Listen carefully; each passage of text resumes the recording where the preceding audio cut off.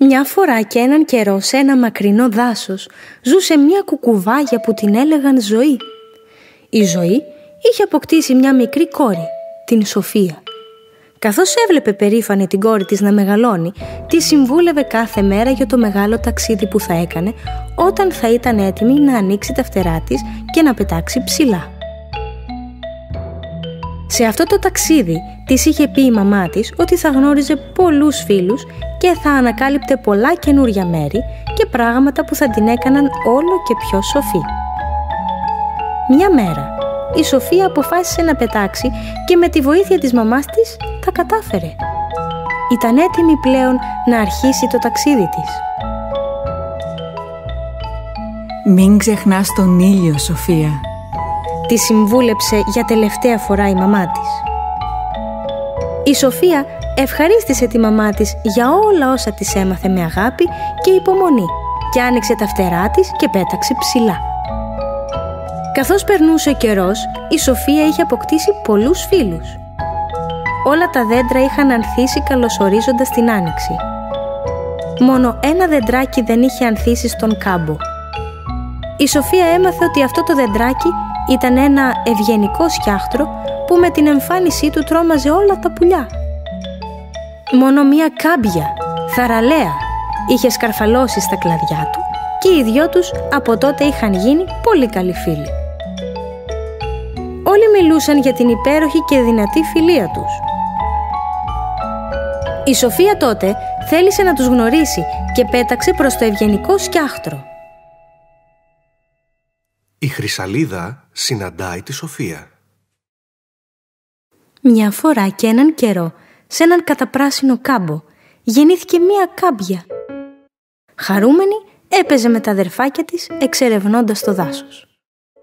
Μια μέρα όμως, ένα δυσάρεστο γεγονός άλλαξε τη μοίρα της για πάντα. Ένα τεράστιο πουλί όρμησε από τον ουρανό αρπάζοντας τα αδερφάκια της και πέταξε μακριά.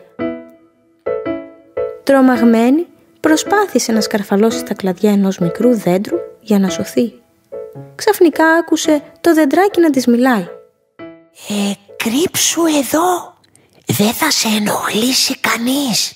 Μα τι περίεργο δέντρο σκέφτηκε. Το δεντράκι ήταν τελικά ένα ευγενικό σκιάχτρο και καλωσόρισε την κάμπια στα κλαδιά του που είχε για χέρια. Το σκιάχτρο εξομολογήθηκε τη λύπη του που το φοβόντουσαν όλοι και κανένας δεν τον ήθελε για φίλο. «Θα γίνω εγώ φίλη σου», του είπε στοργικά η μικρή κάμπια. Το σκιάχτρο ήταν πολύ χαρούμενο που επιτέλους θα είχε τη συντροφιά της. Ο ένας απολάμβανε την παρέα του άλλου κάνοντας έτσι τις μέρες να κυλούν ευχάριστα.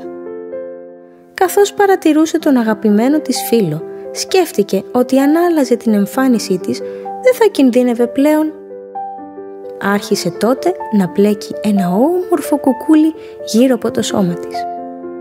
«Μπορώ να προστατέψω κι εγώ τον εαυτό μου», έλεγε καθώς έπλεκε. «Ακόμα και το όνομά μου μπορώ να αλλάξω». Το χρυσό κουκούλι που είχε πλέξει και το φορούσε γεμάτο περηφάνεια, της έδωσε την ιδέα για το καινούριο της όνομα. «Θα με λένε Χρυσαλίδα». Η άνοιξη είχε έρθει για τα καλά Όλα γύρω είχαν ανθίσει και μοσχοβολούσαν. Ακόμα και τα πουλιά ήταν μια ωραία μελωδία μέσα στο δάσος και σφοβόταν καθώς τα έβλεπε να πετάνε από πάνω της. Εύχονταν ότι θα πετούσε και εκείνη κάποια μέρα ψηλά. Μακάρι να μπορούσα να πετάξω κι εγώ, να δω όλο το δάσος από ψηλά, να γνωρίσω φίλους και να μυρίσω τα πανέμορφα λουλούδια. Ένα πρόσμενο γεγονός διέκοψε απότομα τις σκέψεις της. Μία κουκουβάγια ήρθε και κάθισε στα χέρια του σκιάχτρου. Η χρυσαλίδα αμέσως κρύφτηκε φοβισμένη μέσα στο μεταξένιο κουκούλι της. Το σκιάχτρο τίναζε τα χέρια του με μανία στην προσπάθειά του να προστατέψει τη χρυσαλίδα. «Γεια σας. Δεν ήθελα να σας τρομάξω. Ήρθα απλώς για να σας γνωρίσω», Έχω ακούσει πολλά για την όμορφη φιλία σας. Με λένε Σοφία, είπε η κουκουβάγια. Η Χρυσαλίδα ακούγοντας έκπληκτη τα λόγια της Σοφίας, άρχισε να βγαίνει σιγά σιγά από το κουκούλι της. Την μεγαλύτερη έκπληξη όμως την είχε το σκιάχτρο, καθώς ήταν το πρώτο πουλί που κάθονταν στα χέρια του. «Δε με φοβάσαι», είπε γεμάτο πορεία. Φοβάσαι κάποιον όταν κινδυνεύεις από αυτόν. «Όλα τα πουλιά με φοβούνται». Δεν είναι σωστό να κρίνουμε τον άλλον μόνο από την εμφάνιση, είπε η Σοφία καθώς παρατηρούσε το όμορφο κουκούλι της Χρυσαλίδας. «Είναι υπέροχο το κουκούλι σου», είπε η Σοφία στη Χρυσαλίδα, κάνοντάς την να νιώσει όμορφα. Η Χρυσαλίδα την ευχαρίστησε καθώς θαύμαζε με τη σειρά της τα υπέροχα φτερά της Σοφίας. «Γιατί κρύβεσαι όμως μέσα στο κουκούλι σου» Η Χρυσαλίδα τότε της είπε όλη την ιστορία με τα αδερφάκια της. Θα πρέπει πρώτα να γνωρίζεις τους άλλους προτού τους κρίνεις. Ο φόβος δεν είναι καλό να τον έχουμε μέσα μας. Μας κάνει να χάνουμε τη δύναμή μας ενώ μπορούμε να κάνουμε τόσα πολλά πράγματα. Όταν φοβόμαστε, μένουμε στο ίδιο σημείο και δεν ζούμε τα όνειρά μας. Η Χρυσαλίδα συμφώνησε με όσα της είπε η Σοφία. Αυτό που ήθελε όμως τώρα είναι να της δείξει τα φτερά της που τόσο πολύ θαύμαζε. Να θυμάσαι Χρυσαλίδα, όλοι βρίσκουν το θάρρος και τη δύναμη για να χρησιμοποιήσουν τα φτερά τους. Εγώ δεν έχω φτερά και δεν μπορώ να πετάξω ψηλά. Θα το ήθελα πολύ όμως. Είπε η Χρυσαλίδα και το σκιάχτρο την κοίταξε λυπημένα. Μακάρι να τα καταφέρεις κάποια μέρα Χρυσαλίδα μου. Η Σοφία χαμογέλασε βλέποντας την αγάπη που είχε ο ένας για τον άλλον. Κάποια μέρα μπορεί να πετάξεις ψηλά χρυσαλίδα εφόσον το θέλεις τόσο πολύ. Πρέπει να διώξεις το φόβο σου. Το κουκούλι σου είναι πολύ ωραίο, αλλά δεν είναι αυτό που πραγματικά χρειάζεσαι.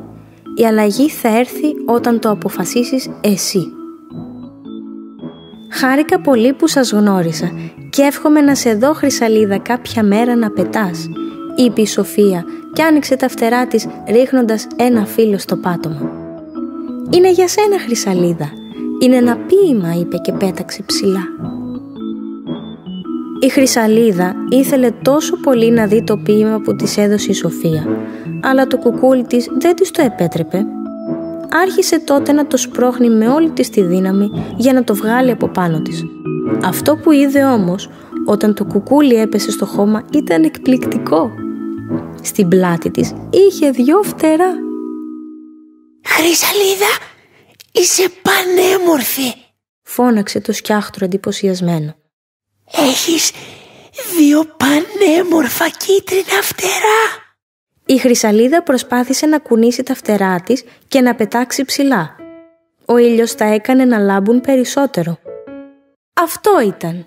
Έγινε μια πανέμορφη πεταλούδα. Το σκιάχτρο τη θαύμαζε που πετούσε από πάνω του. Η Χρυσαλίδα ξανακάθισε στα χέρια του και τον ευχαρίστησε για την αγάπη και τη φιλία του.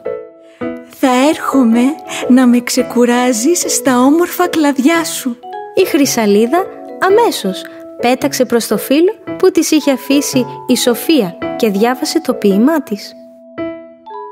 «Τα φτερά σου λάμπουν σαν τον ήλιο.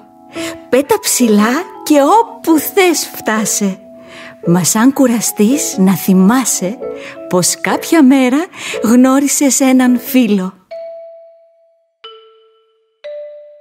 Η Σοφία ήταν πολύ χαρούμενη που γνώρισε τη Χρυσαλίδα και το ευγενικό σκιάχτρο. Ευχήθηκε να δημιουργούνται σε όλο τον κόσμο τέτοιες δυνατές και όμορφες φιλίες.